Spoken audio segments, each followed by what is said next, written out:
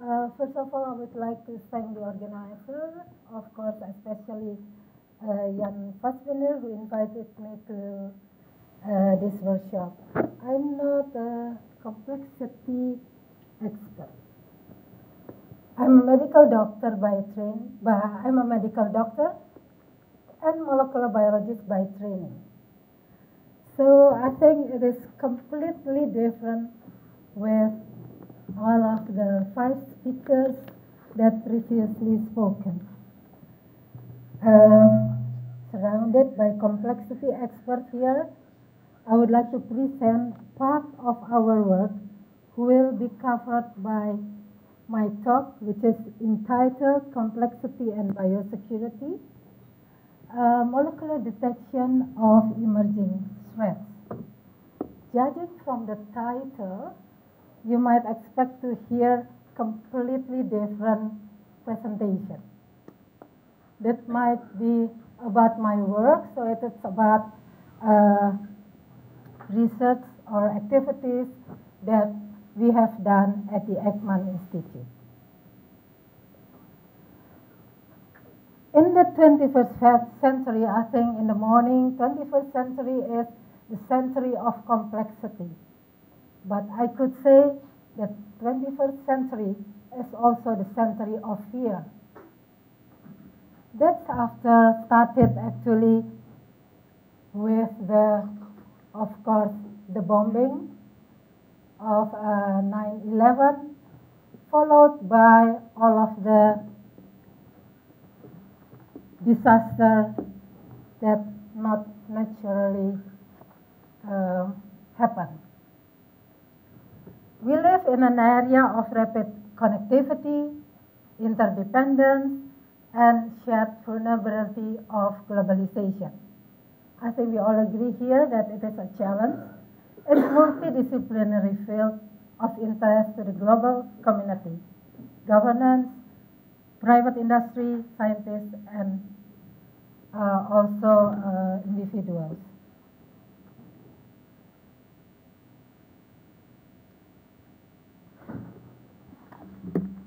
I work, as I mentioned, I work at the Eijkman Institute uh, in Jakarta. Our mission at the Institute is to advance fundamental knowledge in the field of molecular cell biology and to apply such knowledge to the understanding, prevention, and treatment of human diseases. So I think it is uh, not too far from the mission that what I'm going to present here is uh, part of the activity in the institute which focus on medical problems in the country. We have focused, as I mentioned, on endemic diseases as well as emerging infectious diseases from two different sides. So it is the host and the pathogen both that could not be separated. And we take advantage of the huge human genetic resource of Indonesia as reflected by its many ethnic population. We have 700 languages as the basis for disease gene discovery with medical and biotechnical, uh, biotechnological application. What we are doing at the Eijkman is a strategic research that could be applied for humanities or people welfare. So as part of the year of terrorism after 9-11 and suicide bombings in Indonesia, we have developed forensic DNA facilities that not used only for human identification, but also for wildlife and endangered uh, animals in Indonesia. We are working with population markers that have been used to study the population structure of Indonesia that could be applied straight away to the barcoding speciation for most animals, uh, part of the conservation uh, approach. I would like to show this slide since I would like to emphasize that Indonesia has problems with emerging and re-emerging diseases. And that's most caused by environmental, ecological, or demographic factors spread by travel and trade. Indonesia is a maritime country. I mentioned about we have 700 languages, meaning 700 uh, genetic background might be. We have 33 provinces and more, more than 220 million. Being diverse, meaning that we have diverse genetic background that lead us to the difficulty in managing disease in Indonesia. Here I would like to share with you the endemic diseases which uh, we face. Malaria is the, we have the highest case number and fatality rate in the world. This is this one.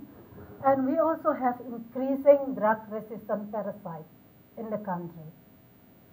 Tuberculosis ranks third in TB burden following India and China. TB is the third major causes of mortality in Indonesia. We have increased drug resistance as well. Dengue, although it is uh, increasing, but the mortality rate is actually decreasing, maybe due to the management of the disease. Hepatitis B is endemic. Avian flu, we have the highest case number and fatality rate. So, it is not only with globalization and people movement, not only bird that can spread the flu. You have to see this. This is the world without borders. Viruses can be taken in hours to another continent, as shown here. This is uh, air traffic global. So you consider how spread the, the disease can be spread to another continent in a couple of hours. Before I can continue my talk, because my talk uh, title is uh, Complexity in Biosecurity, let me introduce you to the terminology. What is biosafety and what is biosecurity? Because we have to, maybe we have to uh, synchronize uh, whether the definition for us is the same. Biosecurity terminology are relatively new in the region especially in Indonesia, we have not, we haven't been actually exposed to their terminology, not until the introduction of anthrax powder, because it's in the media. So we know that uh, anthrax powder has been used as a bioterrorism tool. And from there on, uh, Indonesia, which suffer also on the terrorism but not bioterrorism, understand those kind of terminology. Biosecurity encompasses minimizing risk through biological harm, not least being the economic impact. And I think if you know about the biosafety, biosecurity, then we know that early detection system is very important. And also monitoring uh, is necessary. This one is the biological risk spectrum.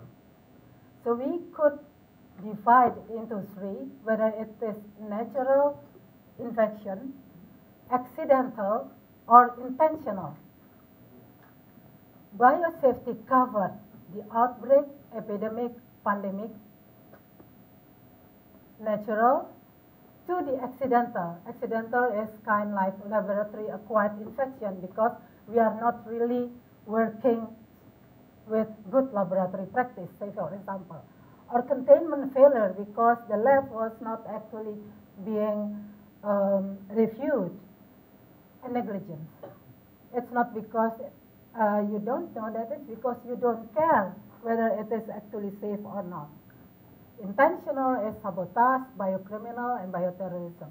Those kind of things that uh, the terminology actually divided into. WHO have set a limited definition.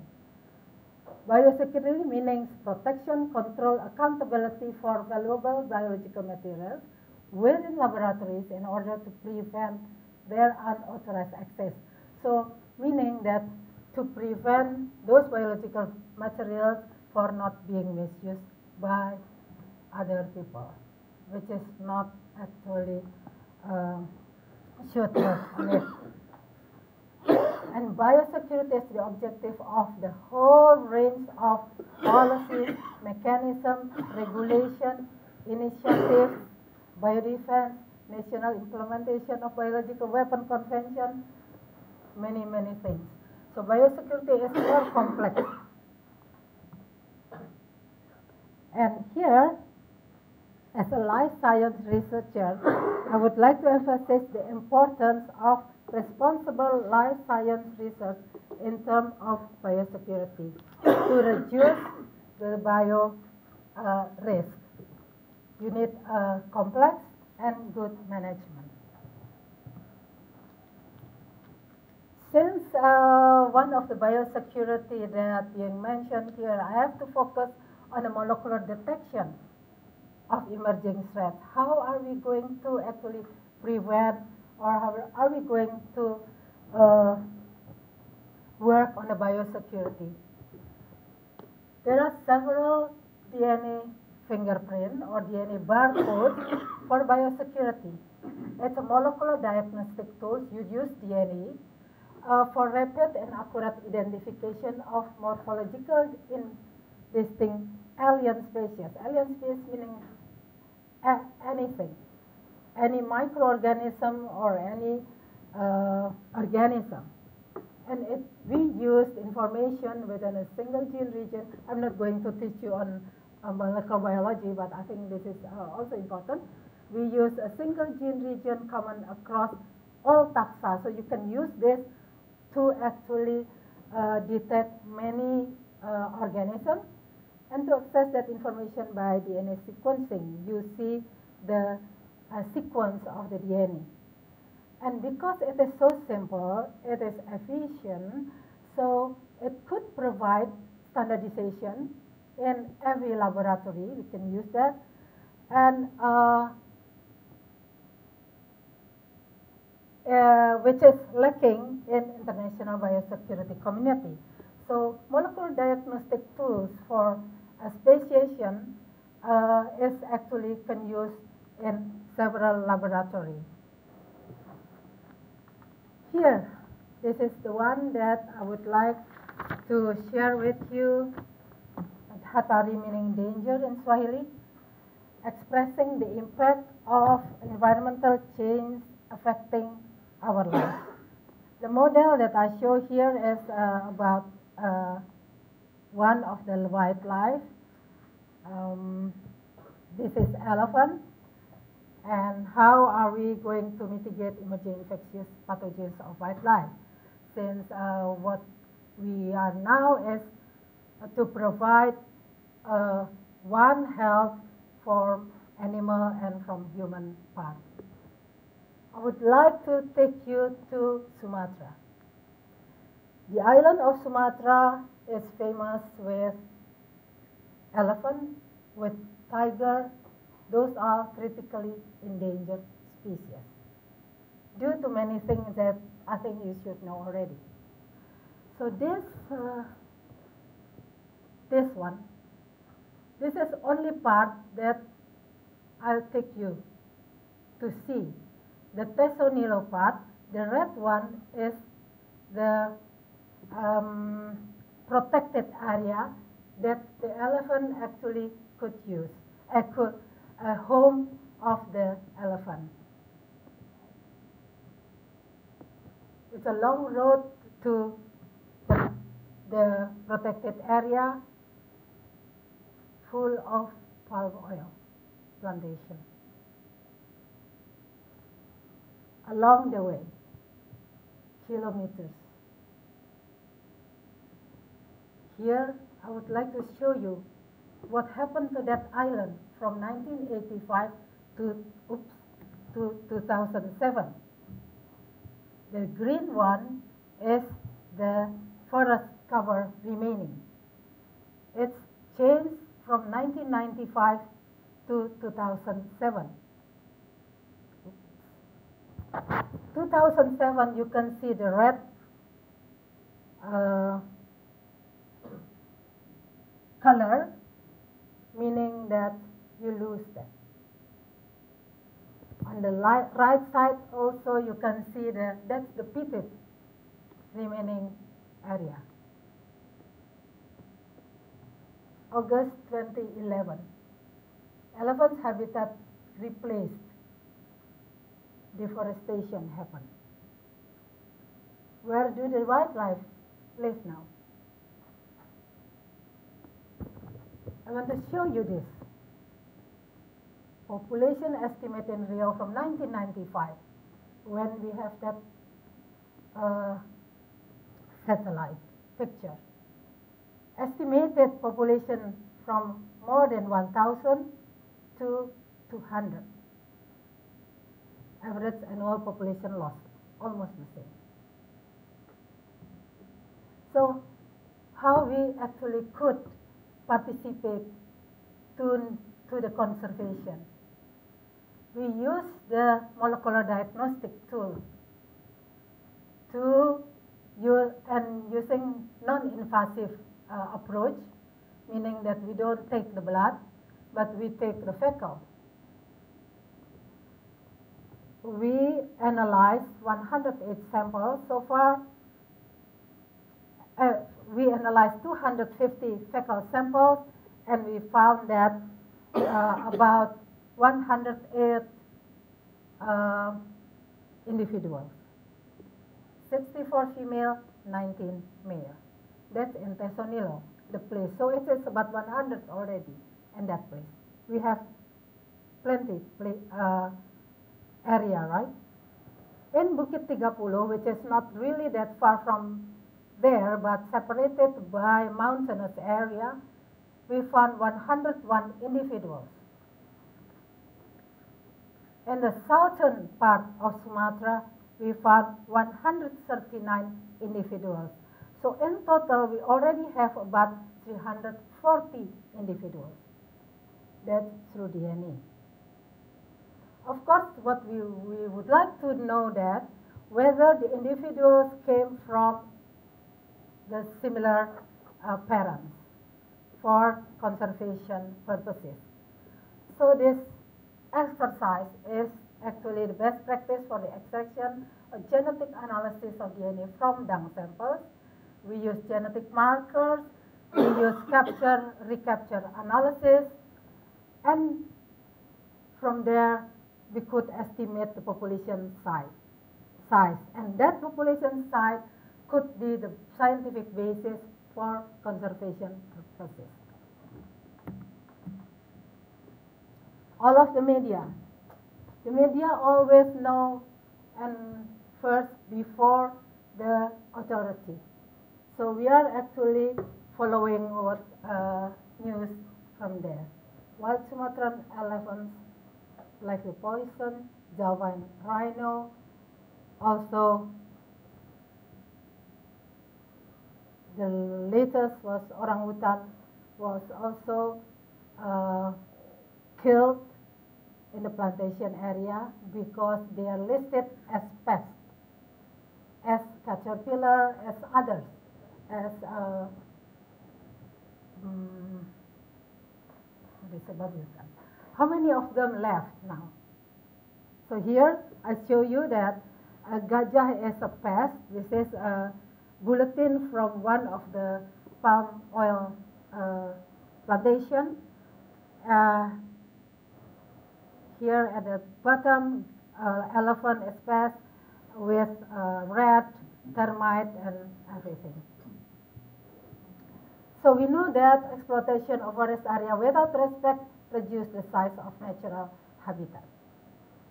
Here, Sumatran orangutan is critically endangered, but Bornean is critically endangered, meaning it's almost gone. A Bornean is endangered how to study the Borneo. From Sumatra, we go to Borneo. I would like to take you to all of those orangutan places. The Bornean orangutan is divided into three subspecies, uh, with habitat is Sarawak West Kalimantan, Central Kalimantan South, and uh, different with the East Kalimantan. So we could actually identify subspecies of this. Why should we do that?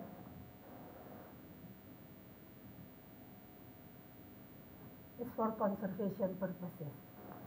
Because we will release them to their natural habitat. To be able to release them, you have to identify whether they fit with that for conservation purposes. You cannot actually release uh, an individual with different genetic background for conservation. So rehabilitation or reintroduction of orangutan needs a specific attention related to genetic, health, behavioral contamination, and also geography.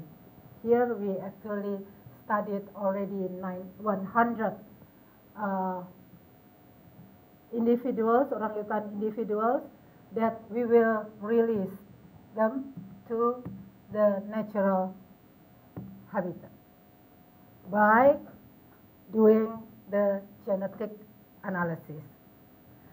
But uh, if we are talking about biosecurity, we are talking about the deforestation. We are talking also about disease that can actually jump from one host to another. This is the approach that we use.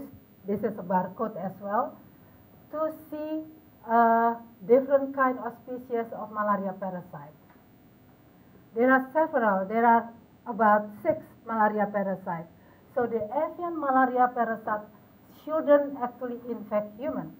They should infect birds.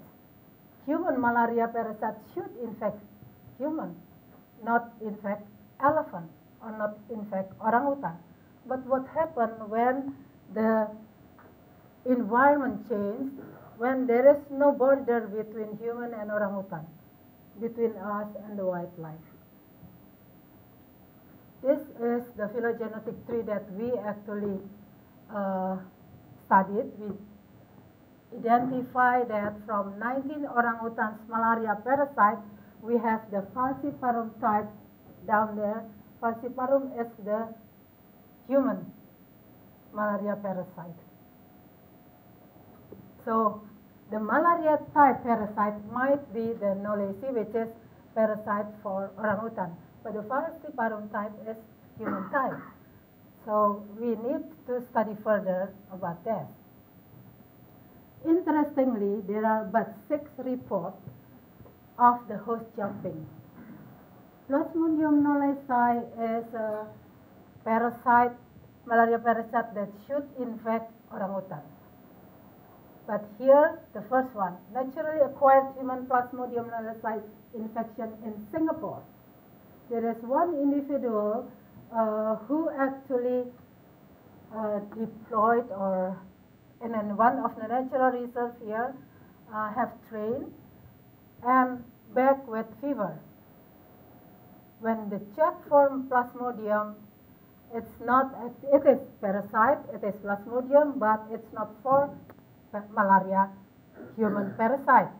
So uh, further study then could detect that the Plasmodium knowlesi was actually being detected in the blood of that person. Why? He has been exposed to the long-tailed monkey in that uh, natural reserve. In the Philippines, so since 2008, there are several reports already uh, reporting the presence of those orangutan malaria parasite in humans. From Malaysia, Borneo, which is a Swedish traveler visiting Malaysian Borneo, uh, Indonesian Borneo as well, and there are travel, travelers from Spain who travel to Southeast Asia because Vietnam also reported the presence of that kind of orangutan parasite. So this is the uh, relationship between animal and human. Animals should infect animals, but now zoonosis from animal to human. And anthropozoonosis, which is very rare, that human to human to animal.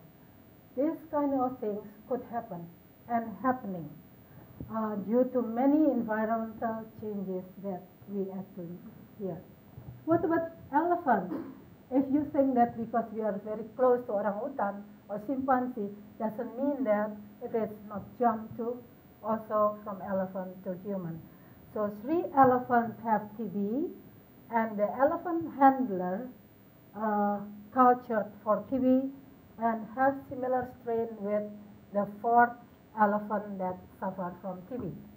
So indicates that there is a transmission of bacteria between human and elephants. Fifth in Indonesia, media coverage on Ebola and avian flu. Ebola virus found in Kalimantan's orangutan. That statement is very big because if you found that, what will happen to both to human and also to the uh, orangutan society? H1N9, uh, H1N1, and, and a pandemic on the duck. Without even we have without scientific background, there is a statement that uh, avian flu in duck is not mutation but man-made. This one is in the Indonesian media. You could actually expect what happened at that time. It was very big, creating panic to the society. And the National Intelligence Agency has to clarify that, that there is no such evidence of bird flu bioterrorism. So if people do not know about biosafety, biosecurity, all of the biodefense, those kind of things, if they, if they don't know, uh, the National uh, Intelligence Agency do not know what the concept of that, uh, they might actually support it, the idea. Bioterrorism is an act of bioterrorists. It's more actually to create fear, to intimidate government or societies. So if it is not clarified, you, you will know what happened. This is the Ebola virus that uh, distrib geographic distribution. So we are part of that belt. Actually, those statements resulting from this scientific report that serological evidence of Ebola virus infection in Indonesian orangutan. So if you just take that Ebola virus infection in Indonesia orangutan, that will make your life different. Because meaning that you have the virus.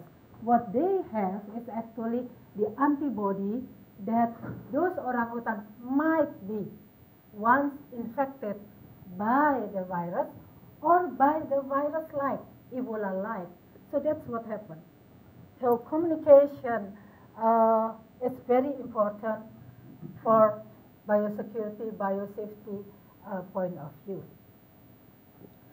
Uh, since we are working on those kind of emerging and re-emerging diseases, we have kind like uh, a goal that whatever that we do is towards One Health.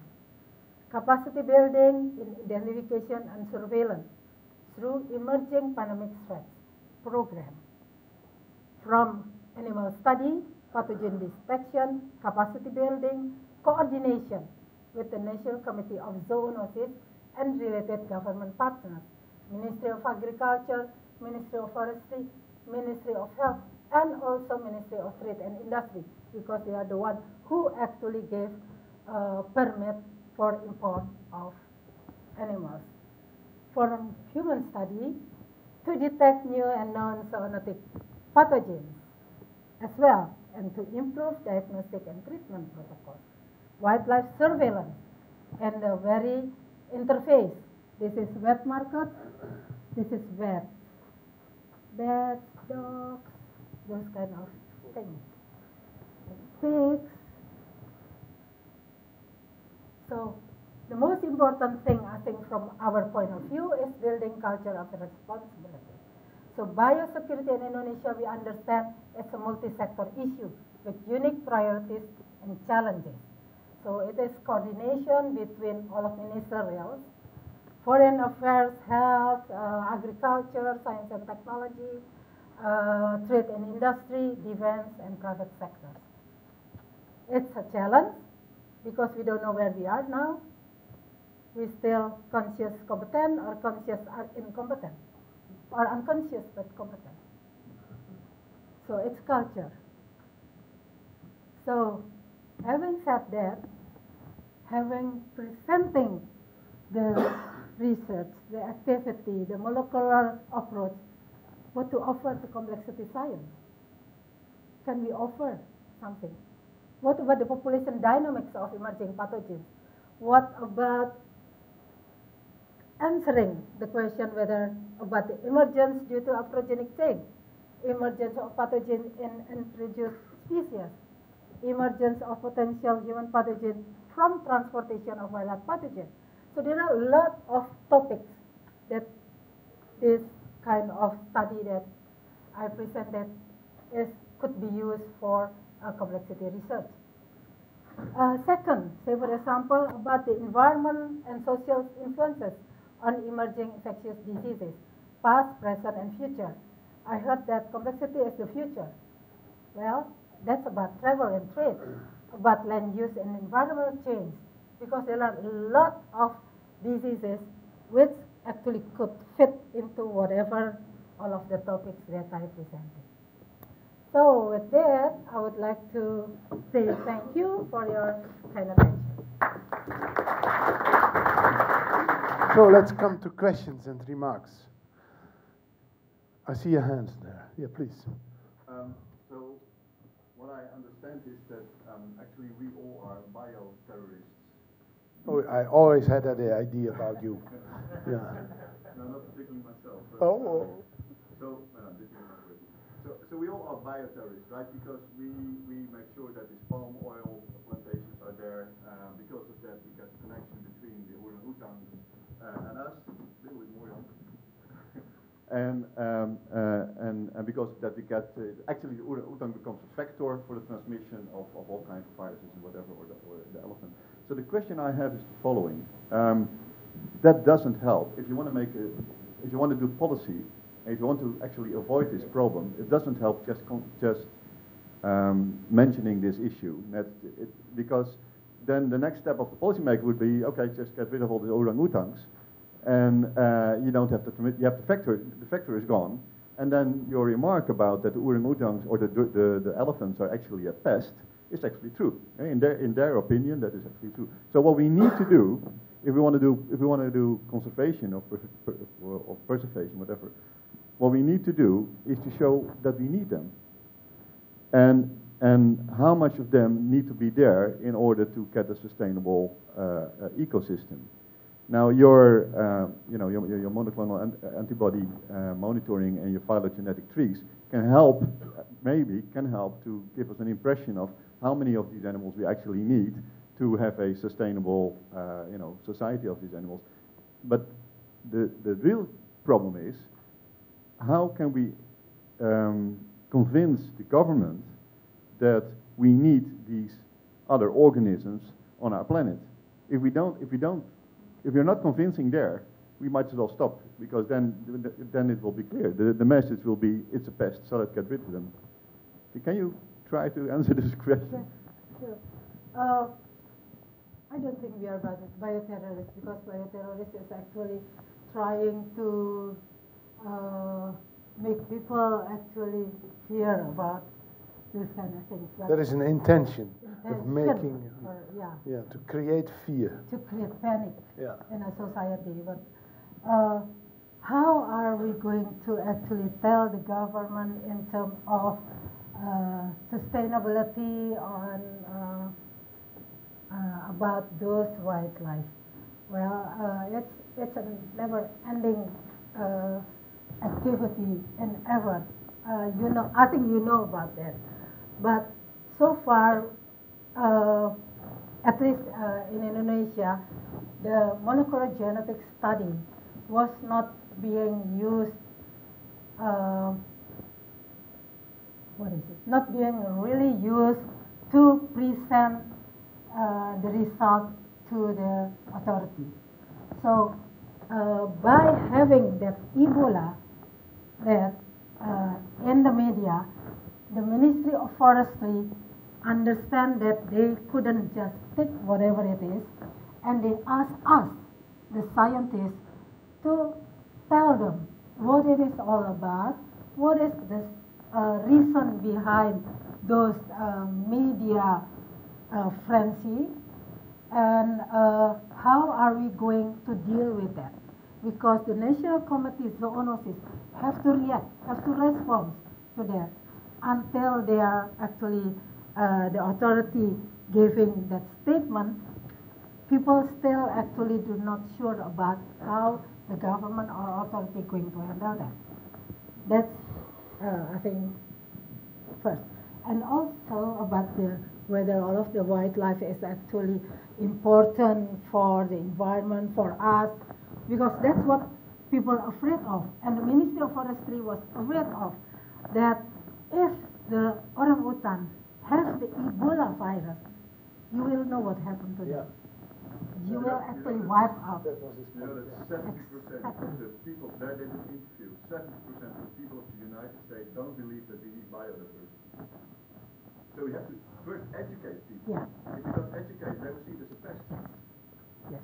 Okay. Exactly. Next question. I just want to make a comment, actually, which is back to my theme of the urgency of this. The, the Ebola article that, that uh, Hera mentioned uh, was published in PLOS One, and it happened to be wrong. But it said that orangutans are carriers of Ebola, and that goes in the media. If that hadn't, if it hadn't been corrected quickly, they would probably be extinct, Yeah. right? They would have, they would, we were that close, right? Yeah. A little bit of bad science. Among other things, Hera is in charge of the, she has a biosafety level three lab, the one in Indonesia, at her Eijkman Institute, which she runs, by the way. You, could you say a word about the avian flu? Because that's also, when, when the avian flu is discovered in, in, in Indonesia, people go in, in in moon suits, right, to, to go investigate it. But Hera doesn't, she's in charge, right? She doesn't wear the moon suit. Why do you not wear the moon suit when you go in when they've discovered avian flu, Hera, in the cases of outbreaks? Well, uh, the biosafety laboratory level three. So that's why I mentioned about biosafety and biosecurity because you have to have that concept first. Biosafety, working safe for uh, you working with highly pathogenic uh, um, agents. So working with that, you have to have a facility that when you can actually culture the agents. And by doing so, you can actually, uh, like I said, uh, like I uh, showed, that you can uh, check for the DNA sequence, that if there is a change, nucleotide change, that might lead to uh, affecting um, or might lead to a pandemic or uh, different uh, infecting a different kind of host, then uh, actually it's meaningful.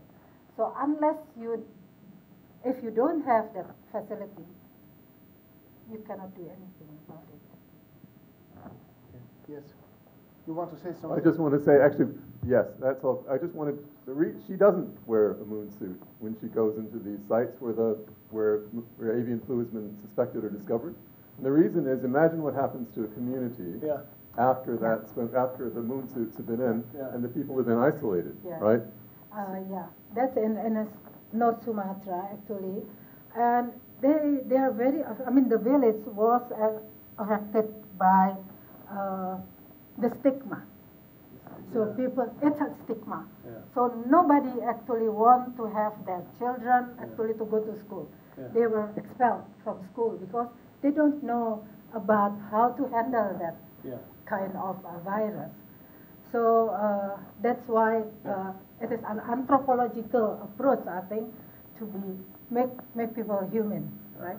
Yeah. Not by actually you're having the suit going to, and Yeah. then the rest is like, I don't know. Yeah, okay, yeah, it's clear. Yeah, please. It, it, it may be a detail, but it was, I was curious in your presentation. When, when you discussed the, the, you know, the list of diseases that were prevalent in Indonesia, that you identified the fact that there was such a high genetic diversity amongst the population as a problem, whereas according to the same logic, that would seem an to be a good thing because Yeah. you have a, you have a more resilient population, et Yeah. cetera. But so I was just curious, in the context of this whole discussion, why you identified it that way. Okay, uh, as mentioned that Indonesia is very uh, diverse. So we have, we are um, already studying about 120 ethnic population in Indonesia, right? By doing so, we screen them for certain type of disease for screening. It's, it's kind like, uh, because it's part of the health examination. Say, for example, hepatitis B, you screen them. When you do the genotyping of that people, it's healthy, uh, supposed to be healthy individuals, you found they harbor several uh, different type of uh, virus genotype. So we can actually look at the population structure of Indonesia, which is divided into Western Indonesia, uh, uh, Central, which is uh, Wallacea, uh, Eastern, east of Wallace Line, and also the Papuan and Alor uh, uh, population. They have different kind of subtype of virus also happen in dengue. So if you actually produce a vaccine and it is not taking the, the general or universal part of that, it will fail. Yeah, So once, I, yeah, no, I, I, I understand. yeah, that's it, No, I understand, but it's a, it's a, it's a classic resilience trade-off, right? In a sense, you have a population that, uh, on the face of it, would be more uh, resilient to, to a disease outbreak because the same virus doesn't spread that easily. But yeah, the, the industrial solution of the, of the inoculation becomes harder. Is, is that Yeah, fair? yeah, yeah, that's the story, yeah, yeah. yeah, yeah. Okay, n- next one, next one, remarks, please.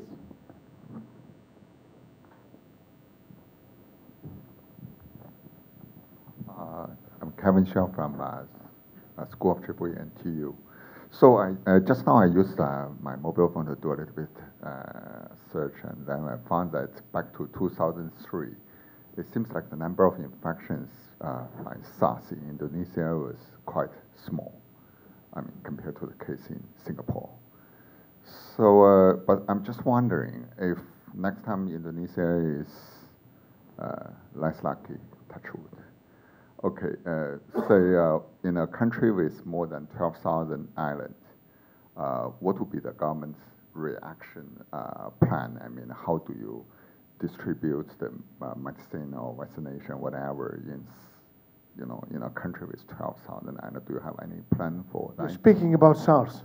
Yeah, because back to 2003, it Yeah, seems okay, like. Indonesia was doing Yeah. very well, only a few Yeah. cases, We're, right? You're talking But- about SARS, uh, Uh, I have mean, SARS uh, in Singapore, but we don't have it in Indonesia. I guess And- only two cases according Yes, to my uh, mobile phone. right? Yes, and it's, So, yeah. uh, but my question is like, if, uh, if next time we have uh, something, okay, and which somehow indeed uh, spreads out in Indonesia, is in such a country with, uh, you know, so many islands, uh, how would the government try to react? I mean, I, I intuitively I feel like that would be extremely difficult. I think uh, it is like also in uh, other country, the first priority in terms of vaccination is always the children and the, uh, what is it, old age? The elderly. elderly, the elderly, and also how to cover the 12, uh, the, the whole Indonesia. We cannot do that, definitely. That's why I think uh, one thing that with avian flu, that uh, Indonesia is kind like mm, very uh, cautious about that, that we cannot even afford the, the avian flu. But what they do usually is uh, they have kind like a limited uh, vaccination program for emerging uh, infection. But for others, say for example, the endemic uh, diseases such uh, hepatitis B, uh, it's the because it's also maternally inherited.